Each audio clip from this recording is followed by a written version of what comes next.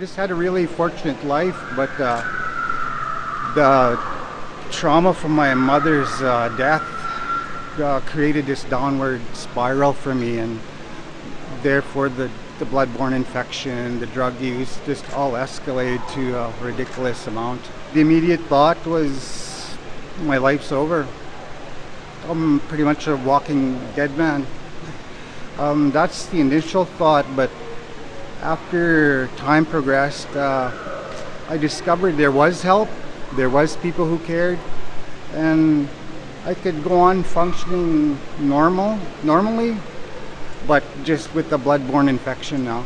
Put it out there that uh, before you do anything drastic like the suicidal tendencies we're having now in Aboriginal communities, uh, there is people out there that help. You're not alone now you can address this issue and not be stigmatized.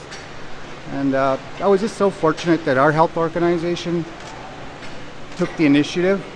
And uh, I was just recently in Ottawa and learned that every province is at a different stage in getting their programs in order. Some don't have anything at all, and they're running into barriers.